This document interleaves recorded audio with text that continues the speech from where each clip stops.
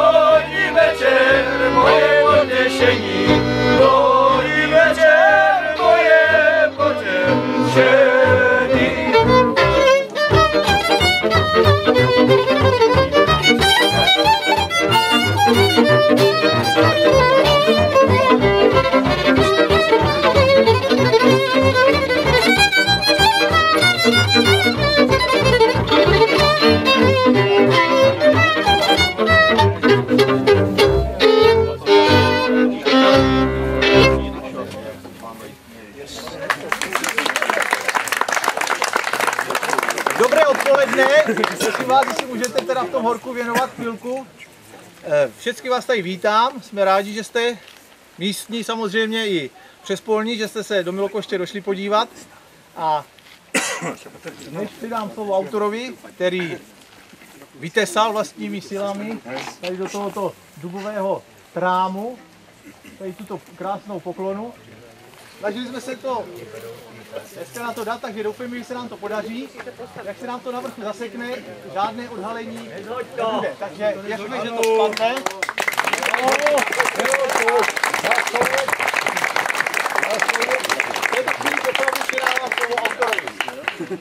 Dobrý den, já vás všetkých zdravím. Tak úvodem bych, abych nezapomněl, tak musím poděkovat všem, kdo mě pomáhali. Eh, Jednak s převracením, ten dub je docela těžký, sám bych to nepřevrátil, takže hoši mě pomáhali vždycky s tím převracením. A potom s instalací vlastně eh, technické služby města Veselí eh, mě vlastně zachránili v tomto, protože nádherně to vlastně osadili, nainstalovali a eh, teď vlastní teda pokloně u svodnice. Za všechno může Věra Kouřilová, dcera posledního milokošského mlináře Radis, Radi, Radislava Dostála, která mi někdy před 25 lety ukázala velmi zajímavou fotku boží muchy, stojící u cesty kousek od Milokošského mlýna. Zřejmě tehdy, když jsme se o tom bavili, tak Věra mě říkala, že by to mělo být na křižovatce tady na tom mírném stoupání, ale eh, není to jako stoprocentní. Eh, Ta fotka se mi natolik zalíbila, že jsem se rozhodl vytvořit ne kopii, spíš připomínku tohoto zastavení.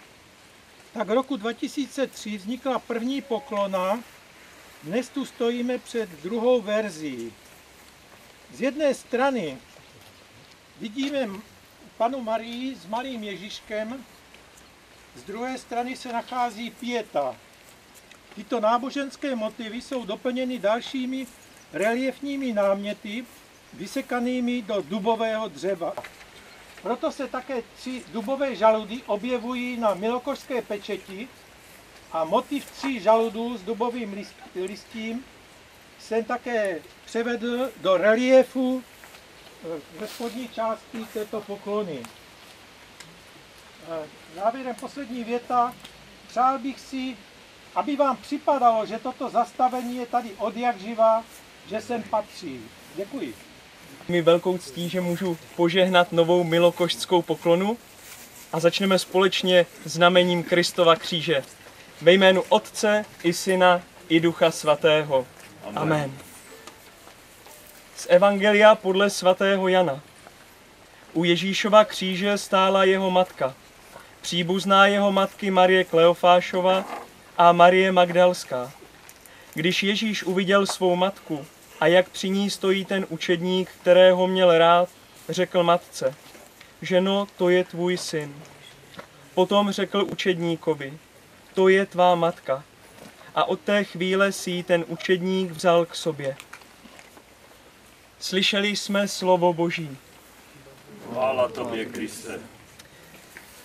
Tak já vlastně do té doby, než jsem přišel na Slovácko, tak jsem nikdy neslyšel to slovo poklona. Já se musím přiznat, že je to poprvé, tak jsem si říkal, co to, co to ta poklona vlastně je. Protože když o tom přemýšlíme, tak ve svém životě se klaníme spoustu věcem. Člověk se klaní spoustu věcem, spoustu věcem slouží. Myslím, že kdyby jsme dali chvíli tichá, chvilku zamyšlení, tak každý z nás by přišel na něco, čemu se tak nějak klaní. A když přijdeme sem a podíváme se na poklonu, tak mě zaujala v té vrchní části právě Pana Maria, která má v náručích Ježíše. My tomuto sousoší, reliefu říkáme obecně pieta. Takže čemu se dnes klaníme my tady? Klaníme se dvou skutečnostem. Klaníme se lásce Božího Syna, který nás měl tak rád, že za nás šel na kříž. A potom se klaníme tomu, že jsme dostali nebeskou matku, panu Marii. Proto jsem vybral to dnešní evangelium, kde pán Ježíš říká, to je vaše matka. A tak já vám všem přeji, a vy, když tady v Milokošti budete chodit kolem této poklony a podíváte se na ní, abyste si tyto dvě skutečnosti uvědomili. Že vás má Pán Bůh rád a za druhé, že máme v nebi naší nebeskou maminku. A to si myslím, že je podstatná věc. Proto chci také poděkovat autorovi, že tuto skutečnost tak krásně vytvořil. Tuto chvíli požehnám tuto poklonu, aby opravdu, když budeme chodit kolem, aby nám byla připomínkou toho, jaký vztah máme k Pánu Bohu. Modleme se. Bože, ty s nám na Paně Marii ukázal, jaká sláva v budoucnu čeká tvůj putující lid. Posiluj všechny, kdo budou uctívat tuto poklonu a s důvěrou budou vzhlížet k Paně Marii a k jejímu synu. Ať se od ní učí, neboť ona září všemu vyvolenému lidu jako vzor cností. Společně o to prosíme skrze Krista, našeho Pána. Amen.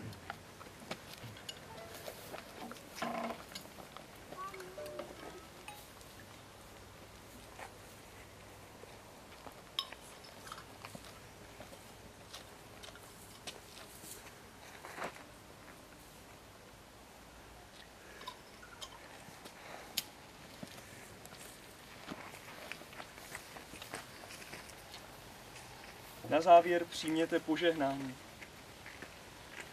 Pán s vámi. Skloňte se před Bohem a přijměte požehnání. Bůh se smiloval nad lidstvem a poslal nám svého syna vykupitele narozeného z Pany Marie, ať se i nad vámi smiluje a sešle vám hojnost svého požehnání. Ta, která nám dala dárce života, ať se za vás vždycky přimlouvá a provází vás svou ochranou. A když nás Kristus svěřil do její mateřské péče, ať stále zakoušíte její pomoc a Bůh ať vás naplní pravou duchovní radostí. Požehnej vás všemohoucí Bůh Otec, i Syn, i Duch Svatý. Zůstávejte a oslavujte ve jménu Pána. Amen.